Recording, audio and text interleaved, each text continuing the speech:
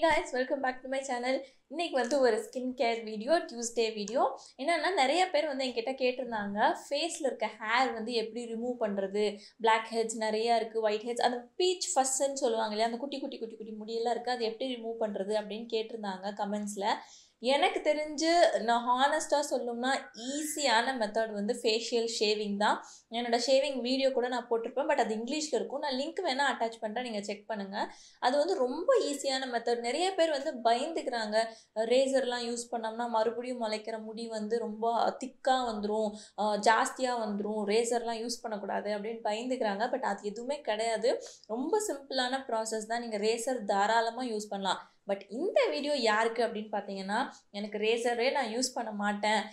வேக்சிங்லாம் போய் நான் பண்ண மாட்டேன் கடையில். ஏதாவது ஒரு நேச்சுரல் ரெமெடி இருந்தால் சொல்லுங்கள் அப்படின்னு கேட்டவங்களுக்கு தான் இந்த வீடியோ இந்த வீடியோவில் என்னென்னு பார்த்தீங்கன்னா இந்த ஃபேஸில் இருக்க ஹேரை வந்து நம்ம நேச்சுரல் ரெமடிஸ் மூலமாக நம்ம வந்து ரிமூவ் பண்ண போகிறோம் அது எப்படிங்கிறத வீடியோக்குள்ளே போய் பார்க்கலாம். ஸோ இதுக்கு வந்து இந்த ப்ராசஸ்க்கு வந்து முக்கியமாக தேவை வந்து ரெண்டே பொருள் தான். முக்கியமாக பார்த்தீங்கன்னா ரெண்டு இன்க்ரீடியன்ட் கண்டிப்பாக வேணும். ஒன்று ஒன்று ஒன்று வந்து பால்.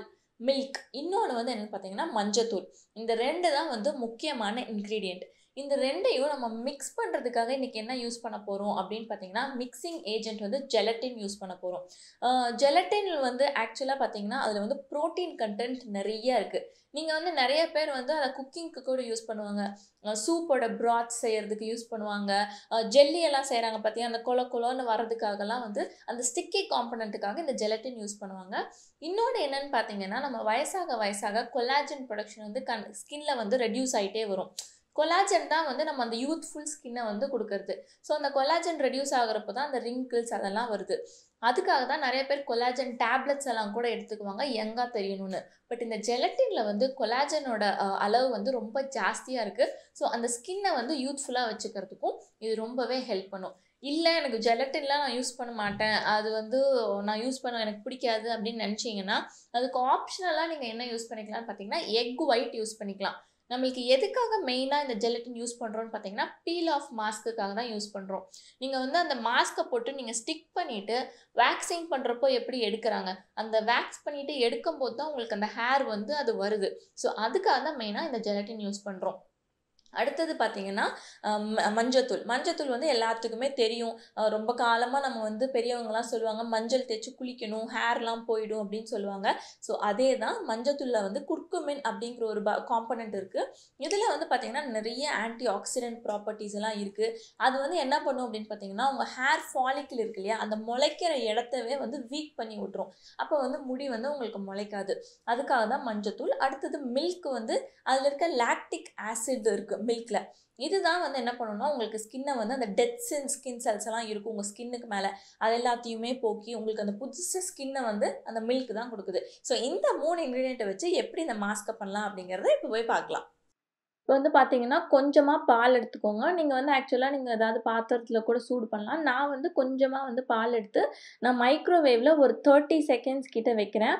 என்ன ஆகும்னா நல்லா பொங்கி வரணும் அப்படிங்கிறது அவசியம் கிடையாது. அந்த ஜெலட்டின் வந்து பால் வந்து சூடாக இருந்தால் தான் மிக்ஸ் ஆகும். இல்லைன்னா கட்டி மாதிரி பிடிச்சிக்கும். ஸோ அது நல்லா சூடாகிற அளவுக்கு இருந்தால் போதும். பார்த்தீங்களா? இந்த இது இருந்தால் போதும். ரொம்ப பொங்கி வரணும் அப்படிங்கிற அவசியம் கிடையாது. ஜெலட்டின் வந்து இப்படி தான் இருக்கும். ஸோ நான் இன்றைக்கி வந்து எப்படின்னு பார்த்தீங்கன்னா ஒரு ஒரு டேபிள் ஸ்பூன் எடுத்திருக்கேன். எடுத்துகிட்டு ஒரு மூணுலேருந்து நாலு ஸ்பூன் வந்து நான் மில்க் சேர்த்திக்கிறேன். இன்னொன்று என்னென்னு பார்த்தீங்கன்னா நீங்கள் வந்து அதை ஆறுறதுக்குள்ளே கலக்கணும். ரொம்ப ஆறிடுச்சு அப்படின்னாலும் ஜெலட்டின் வந்து அப்படியே ஒட்டிக்கும். உங்களால் மிக்ஸே பண்ண முடியாது. கட்டி கட்டியாக ஆயிக்கும். ஸோ நல்லா வந்து நீங்கள் மிக்ஸ் பண்ணணும். சைடில் வந்து நான் ஏற்கனவே ஸ்டீமர் போட்டு வச்சுட்டேன். அது எதுக்குன்னு நான் சொல்கிறேன் ஸோ அந்த ஸ்டீமர் ஆகிட்டு இருக்கப்போவே நீங்கள் நல்லா மிக்ஸ் பண்ணிக்கோங்க. இந்த ரெண்டும் நல்லா மிக்ஸ் ஆனதுக்கப்புறம் கொஞ்சமாக மஞ்சத்தூள் சேர்த்திக்கோங்க. மஞ்சத்தூளும் பாலும் தான் இதில் மெயின் இன்க்ரீடியண்ட் இது கூட வந்து நீங்கள் என்ன ஆப்ஷனெலாம் சேர்த்திக்கலாம் அப்படின்னா ஹனி இல்லைன்னா லெமன் ஜூஸ் கொஞ்சம் சேர்த்துக்கிறதுனாலும் உங்களுக்கு சேர்த்திக்கலாம். ஏன்னா ஜெலட்டினோட ஸ்மெல் வந்து அவ்வளோ நல்லா இருக்காது. இப்போ நான் ஸ்டீம் எதுக்காக பண்ணுறேன் அப்படின்னா அந்த போர்ஸ் எல்லாத்தையும் ஓப்பன் பண்ணுறதுக்காக அப்போ வந்து நீங்கள் போடுற மாஸ்க் வந்து நல்லா உள்ளே இறங்கி ரிமூவ் பண்ணுறப்போ அந்த ஹேர் ஃபாலிக்கல் எல்லாமே கொஞ்சம் சாஃப்ட் ஆயிரும். ஹேர் வந்து ஈஸியாக ரிமூவ் ஆகிடும் அப்படி இந்த ஸ்டீமர் இல்லை அப்படின்னா ஹாட் டவல் இருக்குது பார்த்தீங்களா டவலை வந்து நல்லா சுடு தண்ணியில் போட்டு புழிஞ்சு அதை ஃபேஸில் ஒரு டூ மினிட்ஸ் வச்சுட்டு அதுக்கப்புறமா அப்ளை பண்ணுங்கள் அப்ளை பண்ணும்போதும் அப்படி தான் ஒரு ப்ரஷ் வச்சு அப்ளை பண்ணுங்கள் கையில் அப்ளை பண்ணாதீங்க. இன்னொன்று நான் முன்னாடி சொன்ன மாதிரி தான் லைட்டாக அந்த சூடு இருக்கப்பவே நீங்கள் அப்ளை பண்ணிக்கோங்க. அதுக்காக ரொம்ப சூடாக உங்கள் ஃபேஸில் போட்டுறாதீங்க. லைட்டாக சூடு இருக்கப்பவே அப்ளை பண்ணிடுங்க. இல்லைன்னா பிடிச்சிக்கும்.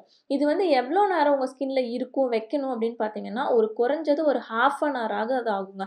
ஒரு thirty minutes to forty minutes வந்து நல்லா அது வந்து ட்ரை ஆகணும். தொட்டு பார்த்தீங்கன்னா உங்கள் ஸ்கின்னோட ஒட்டின மாதிரி இருக்கும். அப்புறமா தேர்ட்டி மினிட்ஸ் முடிஞ்சோன்னே இப்போ எனக்கு வந்து ஒரு thirty to thirty five minutes ஆயிடுச்சு. அதுக்கப்புறமா நான் கீழே இருந்து மெதுவாக ரிமூவ் பண்ணுறேன் ஒரே அடியாக இழுத்துறாதீங்க. ரொம்ப கொஞ்சம் பெயின்ஃபுல்லாக இருக்கும். ஸோ மெதுவாக நீங்கள் இன்ச் பை இன்ச்சாக நீங்கள் எடுங்க. அது வந்துடும் அப்படி வந்து உங்களுக்கு ரொம்ப வலிக்குது. என்னால் வந்து பிடிக்க முடியல. ரொம்ப பிடிச்சிக்கிச்சு அப்படின்னு நினச்சிங்கன்னா கொஞ்சமாக வாட்டரில் டைல்யூட் பண்ணிக்கோங்க. பண்ணிவிட்டு இப்போ பார்த்தீங்கன்னா என்னோட முஸ்டாஷில் இருக்க முடியெல்லாம் கொஞ்சம் லைட்டாக அதில் வந்திருக்கும். ஸோ இப்போ பார்த்தீங்கன்னா நான் வந்து பீல் ஆஃப் பண்ணி முடிச்சதுக்கப்புறமா பீல் ஆஃப் பண்ணிவிட்டு ஃபேஸை வந்து நல்லா கோல்டு வாட்டர் வச்சு எதுவுமே கிளென்சர் எதுவுமே போடல ஜஸ்ட் கோல்டு வாட்டர் வச்சு ஸ்ப்ளாஷ் பண்ணிட்டு வந்துட்டேன். இதுக்கப்புறம் என்ன பண்ணும் அப்படின்னு பார்த்தீங்கன்னா நீங்கள் ஒரு மாய்ஸ்சரைசர் மட்டும் போட்டுக்கலாம். நீங்கள் வந்து ஃபஸ்ட் டைம் யூஸ் பண்ணுறீங்க அப்படின்னா இது வந்து வேக்சிங் அளவுக்கு வந்து பெயின்ஃபுல்லாக இருக்காது. ஜஸ்ட் நீங்கள் நார்மலாக ஒரு பீல் ஆஃப் மாஸ்க் எப்படி போடுவீங்களோ அப்படி தான் இருக்கும்.